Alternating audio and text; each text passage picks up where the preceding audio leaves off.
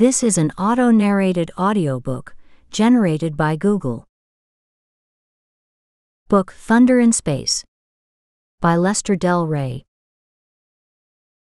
Chapter 1 In the little formal garden in Geneva, the guards had withdrawn discreetly, out of sight and hearing of the two men who sat on a carved marble bench in the center of the enclosure. The President of the United States was too old for the days of strained public and private meetings, and the constant badgering of his advisers that had preceded this final, seemingly foredoomed effort. His hands trembled as he lifted them to light a cigarette. Only his voice still held its accustomed calm. Then its stalemate, Fyodor Stepanovich. I can make no more concessions without risking impeachment. The dark, massive head of the Russian premier nodded. Nor can I, without committing political suicide. His English was better than the rural dialect of Russian he still retained. Call it a double checkmate. Our predecessors sowed their seeds too deep for our spades. Or should I say, too high? Both heads turned to the north, where a bright spot was climbing above the horizon. The space station sparkled in sunlight far above Earth, sliding with Olympian deliberation past a few visible stars until it was directly overhead. Without a timetable or a telescope, there was no way of knowing whether it was the Russian Tsiolkovsky or the American Goddard, nor did either man care. Half the world lived in almost hysterical fear of one or the other, with the rest of the human race existing in terror of both. The premier muttered something from the ugliness of his childhood experiences, but the president only sighed unhappily, as if sorry that his own background gave him no such expressions. A few minutes later, the leaders separated. As they moved across the garden, their escorts surrounded them, clearing the way toward the cars that would take them to the airport.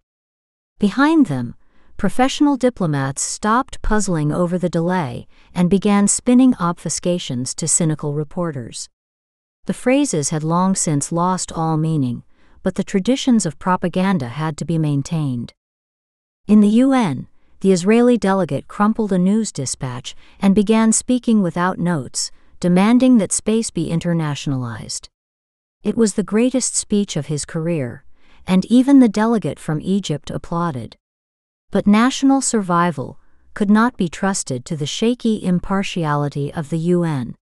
The resolution was vetoed by both the United States and Russia. The 14th Space Disarmament Conference was ended. End of the chapter. CHAPTER 2. A month later, a thousand miles above Earth and exactly 180 degrees behind the Tsiolkovsky, the Goddard swung steadily around the globe in a two hour circumpolar orbit. Outwardly, it looked like the great metal donut that space artists had pictured for decades. On the inside, however, the evidence of hasty crash planned work was everywhere. The air fans whined and vibrated, the halls creaked and groaned, and the water needed to maintain balance gurgled and banged through ill conceived piping. It was cramped and totally inadequate for the needs of the nation that had put it into space, eight years before, in a rush attempt to match the Russian Tsiolkovsky. Jerry Blaine should have been used to such conditions. He'd been one of the original space struck men who'd helped to build it, and then had been lucky enough to get a permanent assignment. Now he drifted in the weightless hub, watching the loading of a ship bound back for the home planet, wondering what hell's brew the boxes contained.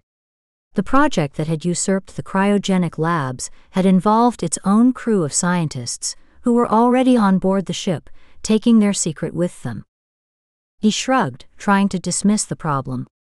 The motion twitched him about, and he corrected automatically.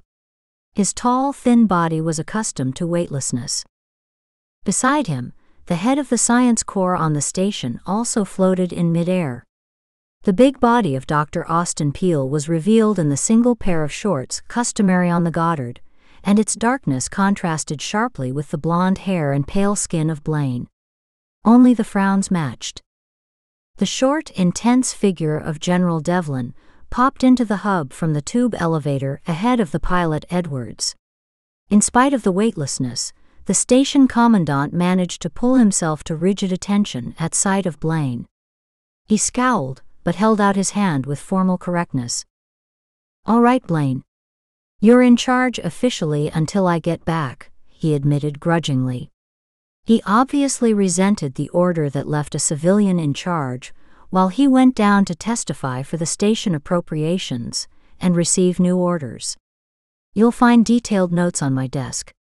I suggest you follow them to the letter. He grabbed a handhold and began pulling himself into the airlock to the ship without waiting for a reply. Edwards had lingered. Now he also held out his hand. Wish me luck, Jerry, he said. I may need it. Because of the contents of the boxes and the presence of Devlin, Edwards had been ordered to make his landing at Canaveral under military security. Most space work was done from Johnston Island in the Pacific. The inadequate facilities at the Cape were supposed to be used only by smaller rockets. But lately, the rules were shot in a lot of ways. Ever since the last meeting at Geneva, nothing seemed normal.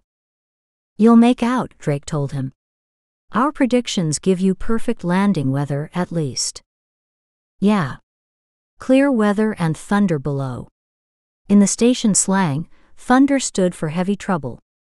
The weather forecast didn't matter, there was always thunder below. Edwards moved through the airlock and into his ship. A moment later, fire bloomed from the rocket tubes and the ship began moving away. In the station, Motors began whining, restoring the hub's spin to match that of the rest of the Goddard. From the viewing ports, Earth filled almost the entire field of vision, like a giant opal set in black velvet. More than half was covered by bright cloud masses, but the rest showed swirls and patterns of blue water, green forest, and reddish brown barren patches. Over everything lay the almost fluorescent blue of atmosphere, forming a brilliant violet halo at the horizon. It looked incredibly beautiful. So, Blaine thought, does a Portuguese man of war, until one sees the slime underneath or touches the poison stings. Why can't they leave us alone? Peale asked, as if reading Blaine's mind. Why can't they blow themselves up quietly, without ruining our chances here? Blaine chuckled bitterly. He'd been on vacation down there a month before, and Earth was fresher in his memory than it was to Peale. They don't see it that way. To them, we're the danger, the biggest sword of Damocles ever invented. They look up and see us going overhead, loaded with enough megaton bombs to blast life off Earth. Every time we orbit over them, they see Armageddon right over their heads, waiting some fool's itching finger. They could risk the Holocaust when everything was halfway. We hope you enjoyed this preview. To continue listening to this audiobook on Google Play Books, use the link in the video description.